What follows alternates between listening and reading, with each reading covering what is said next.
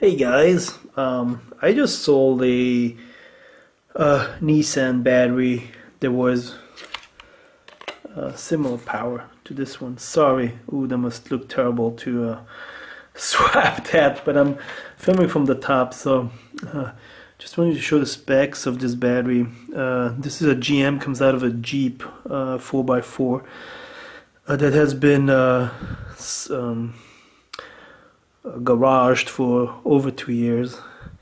And it has 70 amp hours 800 uh, amp CCA cold cranking amps. And uh, it shows two and a half volts. Now the first thing that's weird is that I swear um, I had measured uh, this battery while it was still in the car at one and a half volts.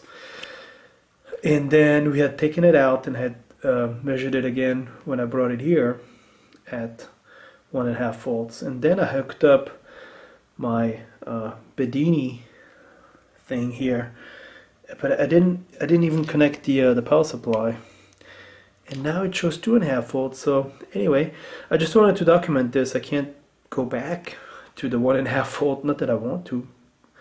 Uh, but um, uh, in any case uh, I replaced it with a refreshed Nissan battery that had 75 amp hours and 760 uh, amps uh, cold, crank, cold cranking amps uh, on this on the English or EN standard whatever however they measure that uh, norm. And it it turned it's a diesel it was a two and a half liter diesel engine and it uh, it turned off it turned over right away.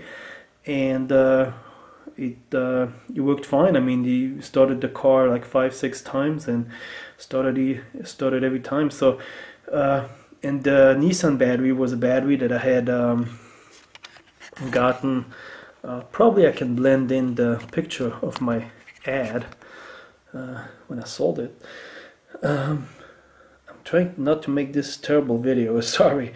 Um, but, um, and it was a battery that got out of the uh, recycling uh, uh, station or point and I had uh, used well different Bedinis really but um, regular chargers and then once it got over uh, 14 volts I used Bedini's just because Bedini's are really slow at cranking at putting um, charge into a battery but they're great at uh, getting rid of, rid of the sulfation. So anyway now I have this and it shows two and a half volts. So I want to use this Bedini to to see how far up I can I can go um, just with a Bedini. So it's now well four o'clock, four or five, and uh, I'll launch that.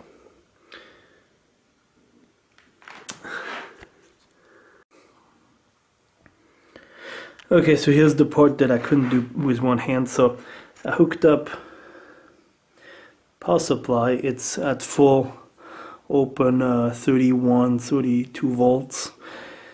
Uh, current limiting is probably at 50 500 milliamps or so but it's not going to go over that.